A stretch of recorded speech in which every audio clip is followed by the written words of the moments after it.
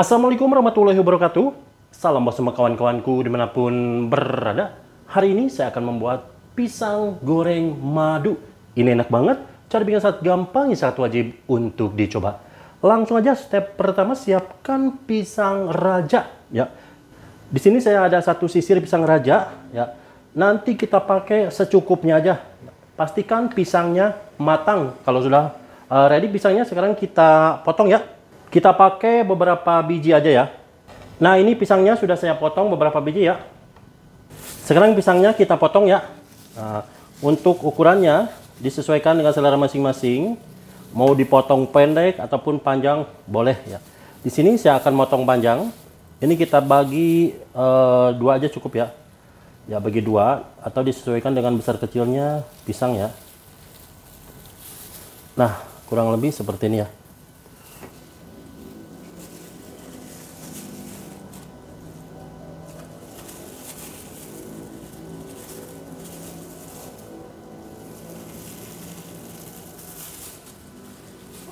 Oke, ini pisangnya sudah saya potong semua ya. Nanti kalau kurang bisa ditambah.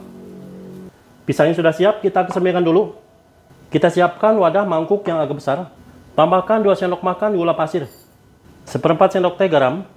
Setengah sendok teh vanili, boleh yang cair, boleh juga yang bubuk. Lalu tambahkan air sebanyak 225 ml ya atau satu gelas lebih dikit. Ini saya pakai air biasa ya, air mentah. Kita aduk merata sampai gulanya larut. Kalau gulanya sudah larut, sekarang kita tambahkan 3 sendok makan madu. Ya, kita kira-kira aja 3 sendok makan. 1, 2, 3. Oke. Untuk jenis madunya bebas ya. Apa aja banyak di pasaran dijual di minimarket ataupun supermarket. Ini kita aduk merata. Kalau madunya sudah tercampur, sekarang kita tambahkan tepung e, beras. Di sini saya siapkan ada 200 gram tepung beras. Saya pakai kemasan Rose Brand dan 50 gram tepung terigu. Saya pakai tepung terigu uh, protein rendah ya. Saya pakai apa itu? Lencana merah. Aduk merata. Oh ya, kita tambahkan satu sendok teh baking powder ya. Saya pakai baking powder yang uh, ini apa? Double action. Satu sendok teh. Aduk merata. Nah, ini semua bahannya sudah ready ya, sudah siap. Jadi kita aduk sampai tidak ada tepung yang menggumpal. Oh ya, di sini saya akan nambahkan sedikit pewarna kuning ya, supaya tampilannya tidak terlalu pucat. Sedikit saja, ini opsional. Boleh ditambah, boleh juga di skip ya. Aduk merata. Nah, ini adonannya udah oke okay ya. Tapi kalau dirasa terlalu kental adonannya, kawan-kawan boleh menambahkan sedikit air atau disesuaikan ya. Nih, kalau saya ini udah cukup ya. Ini udah agak kental seperti ini. Langsung aja sekarang kita siapkan uh, minyak panas di belakang. Pastikan ini tidak ada tepung yang masih menggumpal ya. Nah, di sini saya sudah siapkan minyak di atas wajan. Kita pakai minyak e, lumayan banyak ya, supaya terendam. Kalau minyak sudah panas, kita goreng dan volume api sedang. Jadi kita masukkan ya beberapa pisang ke dalam adonan. Kita tenggelamkan. Langsung aja kita goreng ya. Oke deh. Langsung kita masukkan dalam minyak panas ya.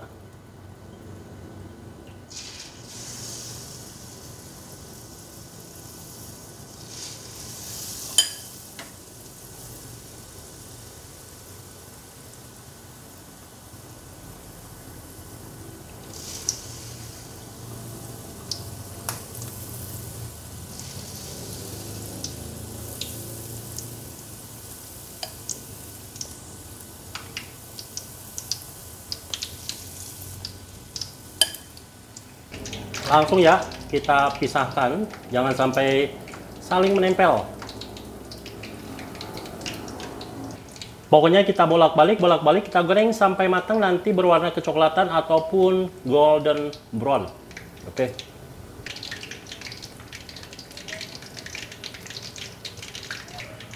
Nah, kalau pisang gorengnya sudah matang ya, udah berwarna kecoklatan seperti ini, langsung aja kita angkat. Di sini aromanya harum banget nih, semerbak.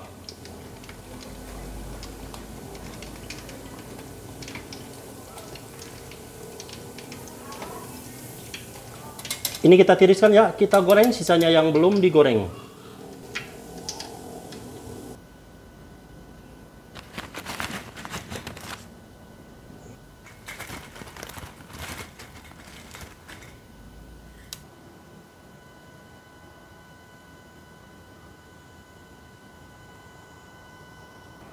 Oke, ini dia pisang goreng madunya sudah ready ya. Sudah saya goreng semua. Alhamdulillah hasilnya di satu piring full.